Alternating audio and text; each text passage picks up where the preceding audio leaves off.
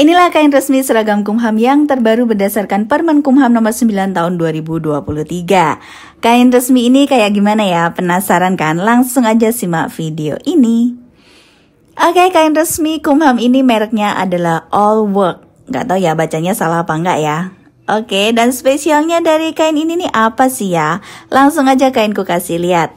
Yang pertama, pastinya ini kain resmi yang udah dipilih dan diakui oleh Kemenkumham. Dan yang kedua dari packing yang menarik dari mata itu ada stiker hologramnya kinclong banget ya, logo pengayoman. Mungkin buat bikin kesan wow dan ini loh yang resmi. Oke, yang ketiga, di sepanjang pinggir kain ini ada tulisan cap warna kuning emas yang bertuliskan All Work Primo Premium, seri kain pakaian dinas resmi Kemenkumham, High Elo Micro Twill Wool Touch Technology. Jadi kesannya kayak wow emang ini resmi banget ya punya Kumham ya. Nah kemudian yang keempat harganya ini bisa dibilang gak murah ya. Kalian yang dapat foto WA kayak gini nih, itu udah menyebar di mana-mana dan ada kartu namanya. Kalian juga bisa ya kalau mau langsung pesen ke sana secara langsung. Nah, kainku ini beli dari sana itu harga rollnya 75.000 per meter. Tapi yang disayangin banget ya, sayang banget ya ini nggak ada harga khusus buat reseller kayak kainku maupun toko-toko lain gitu. Jadi nggak ada harga khusus buat reseller. Harga adanya cuma harga khusus roll aja. Jadi gimana dong kalau kainku harus jual ke konsumen sementara nih kartu nama udah nyebar ke mana-mana ya? Ya, konsumen kalau mau beli roll atau partai besar ya mending langsung kotang ke sana aja ngapain lewat kainku ya. Karena harganya juga pasti lebih mahal di kainku dong. Maklum kita juga reseller harganya sama kayak kalian pembeli biasa. Ya jadi curcol ya malahan. Tapi nggak apa-apa, semoga penonton kainku di sini tetap setia belanja di kainku ya. Dan kalau di kainku harganya lebih mahal ya, ya kalian anggap wajar aja ya. Karena kainku juga pasti ambil untung. Dan belum lagi ada biaya kirim, biaya packing, biaya potong segala macam. Oke, saran aja ya buat Allwork ya. Semoga ke depannya ada harga khusus reseller. Jadi biar para reseller juga semakin semangat dong jualan kainnya. Oke, back to the topic. Yang kelima di sini karena emang spesialnya ini buat kumham, jadi di sini warna-warnanya ini emang khusus warna kumham semua ya.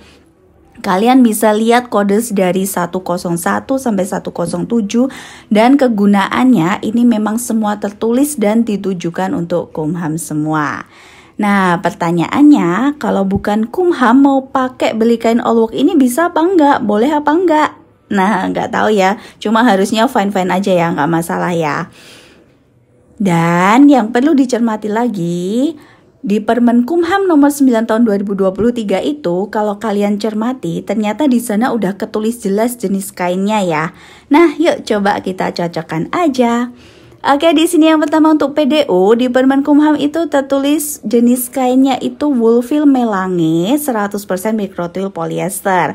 Nah, sementara di sini untuk kain resminya ini tulisannya adalah woolfil high elo. Jadi bukan melange tapi high elo. Nah, ini bedanya apa? Kainku juga nggak ngerti ya atau itu cuma istilah aja nggak paham ya. Semoga ada penjelasan, ada yang tahu di sini ya bisa jelasin di komen. Oke, kemudian yang kedua untuk PDH. Jenis kain PDH di Permen Kumham tertulis Woolfil High Elo 100% mikrotil polyester. Oke, ini sesuai ya sama kainnya ya. Kainnya juga memang Woolfil High Elo. Next, kemudian untuk PDL 1 hitam. Nah, PDL 1 hitam ini tertulisnya itu ripstop 100% twill polyester. Ripstop ya, kalian harus harus tahu ya, ripstop itu kainnya kotak-kotak. Nah, sementara di sini kalau lihat dari sampelnya ini, ini bukan ripstop sih ya, ini cuma kayak motif sembur samar-samar aja gitu. Jadi bukan kotak-kotak ya. Jadi gimana dong nih pakai yang mana ya? Oke. Okay. Kemudian untuk PDL2 taktikal. PDL2 taktikalnya juga sama, harusnya kainnya ripstop 100% microtwill polyester. Jadi semestinya juga kotak-kotak juga sih ya, tapi di sini ya entahlah kenapa ini jadi cuma sembur samar-samar gini aja ya.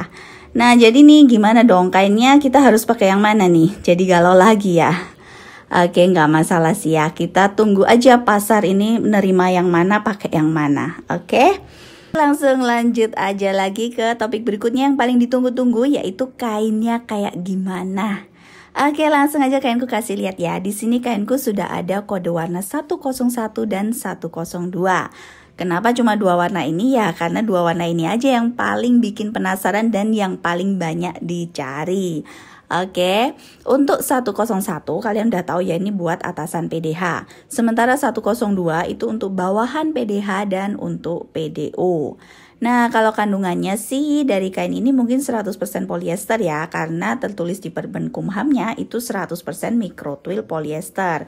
Tapi buat pastinya kalian mesti uji lab kain dulu, oke? Kemudian untuk tekstur kainnya sendiri langsung aja kita kasih lihat.